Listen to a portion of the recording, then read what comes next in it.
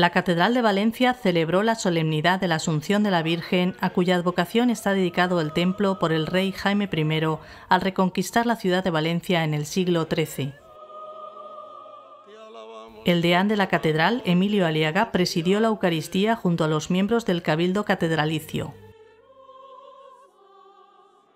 La Eucaristía estuvo presidida por la imagen de la Dormición de la Virgen que fue trasladada hasta la catedral por miembros del grupo de Mecha caracterizados como los Doce Apóstoles.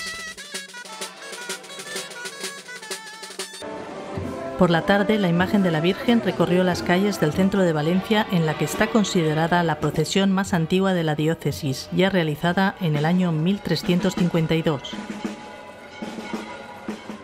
El recorrido, que concluyó en la Iglesia del Milagro, donde se conserva la imagen el resto del año, estuvo acompañado por danzas y cantos populares de Tabalet y Dolsaina.